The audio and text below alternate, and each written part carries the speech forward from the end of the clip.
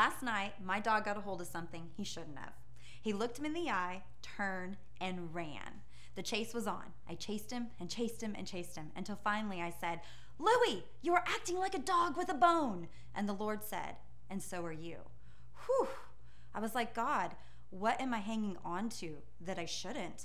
What am I holding on to that isn't your best for my life? Will you show that to me? And then I said, Well, Lord, what should I be holding on to? Psalm 37, 30 through 31 says, The righteous chew on wisdom like a dog with a bone. They roll virtue and truth around on their tongue, and their heart pumps the word of God through their veins. Their feet are as sure as cats. Let's pray. Father God, I just pray for someone like me who is struggling to let go of something that isn't your best for their life. Your ways are higher than our ways, and your thoughts are higher than our thoughts. Father God, help us to submit to the authority of Jesus Christ in all areas of our life.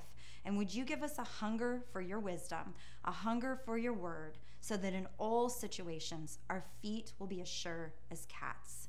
In Jesus' name, amen. Thank you so much for spending a minute with me. My name's Tammy Johnson. I hope you have an amazing day.